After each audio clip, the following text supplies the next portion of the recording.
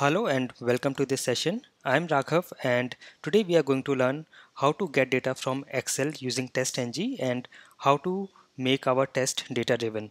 So we are going to go very basic step by step and we will learn how to get data from Excel file, how to create Excel data provider function, how do we use TestNG add data provider annotation, we will also learn how do we refer our test data from the data provider. And finally we will see how can we make our Selenium test data driven using TestNG and during this session I will also share some useful tips with you. So let's get started. And the prerequisite for this session is you must already have the Excel libraries added and we have used Apache POI and you should already have created the functions to read data from Excel. Now this is something we have already learned in our last session and I will also provide the link for that video in the description or notes section of this video so you can watch that in case you have not already watched that. In that session we learned from scratch how do we add Apache POI libraries and how do we create Excel reading functions so that will be prerequisite. And once you have watched that let us see. The first thing we have to do is how to get test data from Excel. So basic four things we have to do here is we should have a function to get row count a function to get column count from Excel a function to get the string data and a function to get the numerical cell data. So let me just take you to Eclipse. And this is the framework that we have been creating. And also in case you have not watched the earlier sessions uh, you can still continue with this session in case you already have some basic knowledge. You can continue here. So in the last session we already created uh, functions in the utilities. So if I go to my SRC test Java we have the utils package. And here we created Excel utils class. And in this class we created a function to get row count we also created a function to get cell data string. We also created a function to get cell data number. I think we did not create a function for get column count. So I will just copy this and just paste it here. And I will say this is get column count. And here I will have to use the function sheet dot get rows. So you can get the first row with the zero index and then you can say get physical number of cells. And I will say this is column count and this is the function to get the column count. Now this we have already done in the last session so I am not going too much details here so this you can already also see if you have not seen earlier you can see the last session. And now we will start with how to create a excel data provider function. So here we have basic four steps very simple steps. The first one is we have to create a new class called excel data provider and you can name it anything. So i will again go to my utils folder utils package do a right click new class and here I will name it Excel data provider. You can give any name here and I will say finish. So this is the new class we have created. And the second step is we have to create a function and create object for Excel utils class where we have added our functions for reading Excel file. So here I will say I will create a function. I will say public void uh, let us say test data and here inside the function I will create an object for Excel utils class. So I will say Excel utils. I can give any variable name Excel equals new Excel utils. And you see it is asking us for a Excel path and the sheet name because in our Excel utils we had created a constructor that takes Excel path and sheet name two string parameters. So what I will do is instead of passing it or instead of defining these two variables here I will take these as input to this particular function. So I will say get string excel path and get string sheet name. So this should be sheet name here. And I think here uh, I will have to I will say this is sheet name. Yeah okay so a very simple function where I'm creating an object for the Excel utils class and now then we will get the row count and column count using the Excel functions. So now using this reference to the class which is Excel, I can get, I can call the function. So I will say Excel dot get row count and then Excel dot get column count and what I will do is I will store them into integer values. So I will say int row count equals this and int column count equals this. So whatever be the number of rows that will be stored here the number of columns will be stored in column count. Now here I am getting uh, error and here it is saying change return type of get row count to int. So now because we are storing this the uh, whatever is the output from this function into a variable integer variable. So we have to give the return type here as integer. So I will go back to my excel utils and wherever I have these functions. So let me go. So here I will say return type instead of void is int. And I will declare int row count outside the try block so that I can return it. And I will say this is 0 and inside the function inside a try block it is getting the row count from this function. And at the end I will say return row count. Same thing I will do with get column count function. This int column count I will declare above try block and I will initialize it to 0 and inside try block it will get its value. And at the end after the catch block I will return column count. And the return type instead of void I will say int and save. And now if I come back to here this class you can see there are no errors now okay? So now we have got the row count and column count. And now we have to run a loop to get all the data into an object array. So let us see what to do. Now I have got this row count and column count. What I will do is I will start a loop and I will say for loop int i equals 1 so I have to start with the number of rows. And I'm starting with 1 and not 0 why? Because let me just show you. If I go to my Excel and these are the excels we already created in our earlier session. Let me just open one of these excel. So you can see here we have two variables username and password and this is the value here. So here the first row is a header row.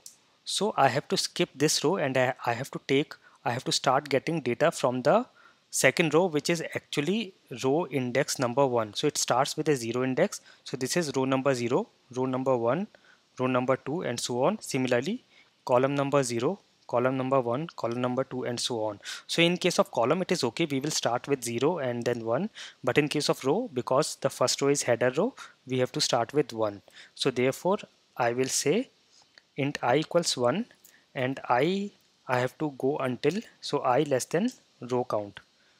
I will keep this here row count and again semicolon i plus plus so this loop will run starting with the row index 1 and until the number of rows we have. So as of now if you look at our Excel as of now it has only just one row of data so this will run only once and then inside this for loop we have to create another for loop. So here I am doing nesting of for loops and here we have to run a for loop equal to the number of columns. So here I will initialize another variable j equals 0 now in case of column we can start with 0 and then j is less than this column count and j plus plus. Okay? And again curly braces start and stop. And now inside this for loop I can get the data. So I will use excel dot get data string. This is the function we had created earlier. And row number will be i. Column number will be j. So this will get the data. So for the first time it will run it will get the data from row number 1 and column number 0 so that will be row number 1 and column number 0 is this. So first time it should get admin. Second time row number 1 and column number 1 that will be this value. Okay? So let us also print it or I will first save it in a string. I will say string cell data equals this. And I'm getting an error here because I don't have a return type I think there. Let me just check. Yeah so in my method which is get cell data string I will again convert the return type instead of void to string. And here I will say string cell data equals null. And here I'm getting the value and at the end after catch block I will return cell data. Okay so now if I go back there are no errors. And now I can print this out. I will say syso control spacebar to autocomplete. And I will say this is cell data. Okay now let us try to run this. And to run this for now I will have to add a main method in this class. So I will add a main method control spacebar to autocomplete. And here I also have to make this method as static so that it can be called from main which is a static method. And I will say test data. And here I have to provide the excel path and sheet name. So for now what I will do is I will just for a temporary basis I will say I will provide excel path and this is the location. I will right click on my excel go to properties and copy this location. And here I will give this here to excel path. So this is the location of excel and sheet name. So if I go to my Excel the sheet name is sheet 1 I have not renamed it so let me just use this. I will say it is sheet 1 and in the earlier session we have already seen how to get the relative path within the project. So that you know but for now I'm just doing it for temporary purpose to run this program and check. So here now let me just try to run this. I will right click run as Java application. And yes you can see we are getting number of rows to number of rows to admin and this is getting printed two times because we are also printing it inside the actual functions. So if you see here we are using the sysout statements here. So let me just comment out the sysout statements from the functions calling uh, these functions. So this is get column count. Uh, this is yeah I think this is fine. The only thing is I forgot to make it as columns number of columns yeah this is fine. So you can see we are getting the data here. And also what I can do here is in the sysout I can say cell data and I can say plus here. And I will just do this. And instead of system.out.println I will say system.out.print ln is for new line. And after this loop I will say system.out.println so that after one loop it will go to the next line. And if I run this now again you can see the console. So you can see number of rows are 2 number of columns are 2 and it is now printing our data here okay? So our program is running fine and also we have to now get the data into an object array. So let us define an object array here. So I will say object and I will say let us say this is data and I will create two-dimensional object. So this means this is a two-dimensional object and actually we can also create a two-dimensional array of string type of any other type but because we are not sure that the data into our excel can be of string can be data uh, of numbers or can be anything. So it is safe to declare a, a object array which is a two-dimensional array and I will say equals new object and here I will give the size. So the size should be equal to row count and column count. So it should be like this. So this will be a two-dimensional array where the size the row will be equal to the row count here and the column will be equal to the column count here. But as we have seen the first row we are taking as header. So I have to decrease one from here so here row count I will say row count minus one. So you can understand right? If I have 10 rows of data the total number of rows will be 11 because we have the first row as header. So that is why I'm subtracting 1 from the row count and column count is fine okay? So now we have created this object and inside this loop I will keep on adding the data into our object array. So I will say data here I will say i and j equals to cell data. And also here I will have to say i minus 1 because our i starts with 1 but the index in our, our array starts with 0 so when it is 1 it should actually be 0 when it is 2 it should actually be 1 so that is why I'm saying i minus 1 and j is fine. And I'm keeping on adding the data into this array and at the end of this function I will return this object array. So I will say return data and it will create an error because our return type is void. So again here I will say return type is object array which is a two-dimensional object array okay? So now we are done with all our four steps. We have created a excel data provider function. Let us now see how to use testng data provider and here we will again use simple three steps. The first step is we have to create a function and provide the test testng annotation at data provider. So here I will go up and create a new function here. I will say public static. I will just say get data. And here I will use the annotation data provider from test testng so DATAP and I will press control space bar and I should take this from org testng dot annotations. And in the brackets I will say name equals to you can give any name. So for example this is the data for test1 I will just use test1 data. Okay? And here this is the data. And so this should be some return type here void and yes so I have created a function and provided testng annotation and then here inside the function I have to call the Excel data provider function with Excel and sheet name.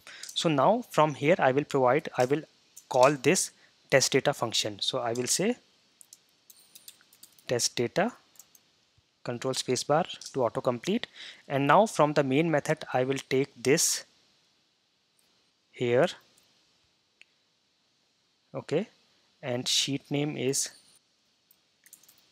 sheet 1 and actually I no longer need the main method now. So I can remove this. And also now even if I do not make these methods as static that will work. I made it static so that I can use the main method. So here I'm calling the test data function which is this one. I'm providing the Excel path which is the path to this Excel file. And then I am providing the sheet name as sheet 1 okay so this will help because you can have multiple sheets for different test cases. So now I am just using for test 1 which is sheet 1 and again I will take this into an object. I will say object data equals this. And I will return this data object. So here again return type I have to make for this function as well as a object array so here you can see simply we have created a function provided it as an annotation for testng which is add data provider given it some name and then calling this function. And then whatever data I have got from this function in the object array I will return that data here okay? So these are the simple steps I have done. And now we have already returned the data object. So we have now completed this section how to use testng add data provider and now we have to do the main part which is how to refer test data from data provider. And here the first step is we have to create a function and provide the testng annotation at test and give it the data provider. So now here I will create another function. Here. So I will say public void. Let me say this is test one. And here I will say this is I will give the annotation test testng annotation test. So make sure this is from org test testng annotations. And I will also give a parameter here. So I will say data provider equals test data or whatever is the data provider name here. So you have to say data provider equals. So make sure that you give the same name whatever you have given to your data provider function. I will copy this from here and paste it here now we have done the first step the second step is in the function arguments get input parameters equal to the parameters in your Excel file. So here in the arguments or input parameters you will de declare arguments equivalent to the number of arguments or number of parameters you have in your Excel data. So here I have two so I will say string both are string type so I will say string username and I will say string password okay? And now you actually do not have to do anything now because now all the things will be taken care by testng and our functions that we have already created. So if I inside this function if I just give a sysout statement and say username and print username here and let me also print the password here separating it with a pipe symbol and password. And I will just run this. I will say I will right click run as testng test and let us see what happens. So everything is passed. If I go to the console do you see this? It is now printing this admin admin 123 and then do you also see this passed test1 admin admin 123 and this is coming from testng this is something we have not uh, printed on the console. So now our test will run with equivalent to the number of times that we have rows in our test data or our excel file. So let me just show you again. Uh, also let me just go inside this and comment out the system out println statement so that you know we have only a single statement here okay. So now you can see if I just add more data here I will not have to do anything in my code. I will add one more data here admin 2 and admin 1234 and save it. And let me run this again. Run as testng test. And yes do you see now? So it is now running the test with two sets of data. This was the first set admin admin 123 and this was the second set. So now you can see it is very easy. You can keep on adding data to your excel files whatever updates addition deletion you have to do to your data you can do here. And here you don't have to worry. Everything will be referred from your data and you can make your test data driven so third step use values in your test which we have already done. And now we will see a sample data driven selenium test using this approach. So I will use the same function which is uh, this test one and here I will just create some selenium code. So what I will do is I will get some data or some before test method from an earlier class that we have created earlier. So I will go to testng demo. And here we have this before test method where we are um, initializing the browser and setting it to a particular browser. I will copy this go to my Excel data provider and just paste it here. And here we actually do not need this. This was a example I showed earlier using properties file and log4j and here I have to declare WebDriver at the class level. So I will say WebDriver driver equals null here and then here it should be referred from there. And let me import WebDriver from Selenium. So yeah this should be fine. So we are creating a driver instance here. And now let me just create a simple test. I will go to let me go to this orange HRM website. So I will copy this URL and I will say driver.get to this URL and then in this I will add a username. So I will inspect this element and let us see what values we have. So we have an ID here. So let us find this with ID I will say driver dot find element by dot id and give the id here. And here I will say dot send keys and I will use our username from our excel file here. And same thing we will do with the password. So here this is the password box. I will right click inspect and the ID here is txt password. So let me copy this again. And here I will say driver dot find element by dot ID again and ID is this. And I will say dot send keys. And I will use our password. And also I will just uh, wait for some time. I will use thread dot sleep so that it is visible what it is doing. Thread dot sleep for let us say two seconds. And it will ask us to enclose with try catch or add throws. I will just add throws here. So I will just say throws exception. So here you can see a very simple test-ng test where we are going to this URL and adding username and password. And now this should come from our Excel file. And also let us do one thing. I will add one more data set here admin3 and admin12345 and save this. And let us now see what happens. I will say right click run as test-ng test. And let us see. It goes to a Chrome browser goes to our URL and this is the first set admin. This is the second set and this is the third set. So you can see it is now running equivalent to the number of data sets we have provided. Okay so this is how you can make your selenium test as data driven so let us do a very quick recap today we learned how to get test data from excel how to create excel data provider functions how do we use test-ng add data provider annotation how do we refer test data from data provider and how do we run a simple data driven test in selenium I hope this session was very useful for you. I will also recommend that you do some practice with some different examples and some Selenium test. And I will meet you in the next episode. Thank you for watching.